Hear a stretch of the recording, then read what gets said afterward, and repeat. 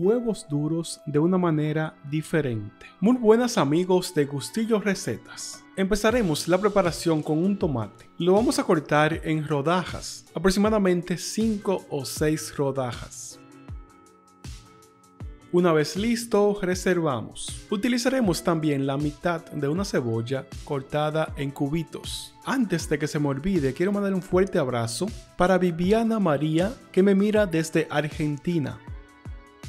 También utilizaremos rodajas de pimentón, ya sea rojo, amarillo o verde, o los tres. Esta receta de huevos duros es súper económica y sabrosa, además de que es una manera diferente de comer los huevos. Estoy seguro que te encantará. Reservamos los vegetales y pasaremos a la estufa. Aquí tengo una olla con agua. Usaremos aproximadamente de 5 a 6 huevos. Lo colocamos poco a poco para que no se rompan y le daremos un tiempo de cocción de 10 minutos una vez empezó a hervir. Así conseguiremos unos huevos duros perfectos. Una vez pasado este tiempo sacaremos los huevos de la olla y lo pasaremos a agua fría. Dejaremos que se enfríe y luego de esto, con una cucharita, lo sacaremos del cascarón. Ve contándome en los comentarios de qué país me ves y así en el siguiente video te puedo enviar un fuerte abrazo. Luego de eso vamos a dividir los huevos a la mitad, con mucho cuidado para que no se rompan.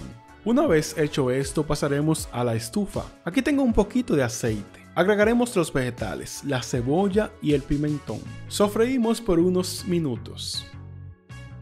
Vamos a condimentar con un poco de sal y un poco de pimienta al gusto. Luego de esto colocaremos las rodajas de tomate encima de la cebolla y el pimiento.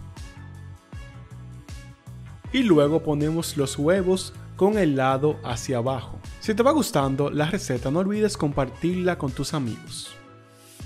Agregaremos paprika al gusto para dar un sabor más explosivo a estos huevos. Ve contándome en los comentarios si alguna vez has comido huevos de esta manera. Luego de esto vamos a condimentar con sal al gusto y también pimienta negra recién molida. Para finalizar usaremos queso mozzarella encima de los huevos y colocamos un poco de orégano seco a tu gusto. Dejaremos que se gratine el queso por unos minutos, tapando nuestro sartén. También me gustaría saber si es la primera vez que ves uno de mis videos. Si es así, me gustaría que te suscribieras a mi canal de YouTube Gustillos Recetas. Tenemos cientos de desayunos, cenas y muchas recetas saludables, económicas y sencillas. Mira qué sabrosos se miran estos huevos de una manera diferente. Mi nombre es Saúl de Gustillos Recetas y muchas gracias por mirar los videos.